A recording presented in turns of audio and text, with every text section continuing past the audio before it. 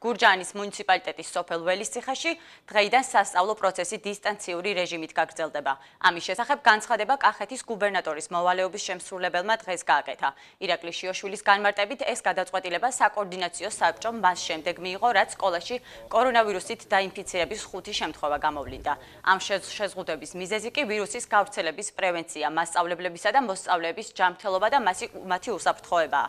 სოფელ ველისციხის საჯარო სკოლაში 540 მოსწავლე ირიცხება. იხება. შიოშვილი თვითიზოლაციაში მყოფი მოქალაქეების მხრიდან რეგულაციების გახშირებულ დარღვევის ფაქტებსაც გამოეხმაურა და ყოველას არსებული რეგულაციების დაცვისკენ კიდევ ერთხელ მოუწოდა. ბოლო მონაცემებით კახეთის რეგიონში კორონავირუსით დაინფიცირებულთა რაოდენობამ 90-ს გადააჭარბა.